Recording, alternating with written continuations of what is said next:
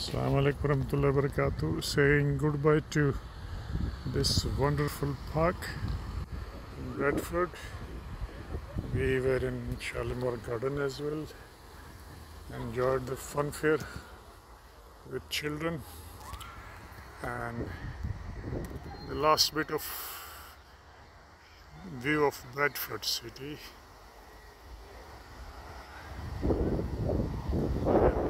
hope it's not sunny, it's cloudy, but still, our people from our community, Kashmiri community, Pakistani community, you know, they are in majority here.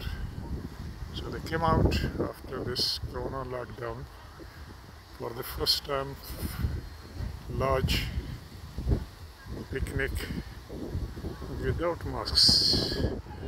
Alhamdulillah, it's getting better and better and better. So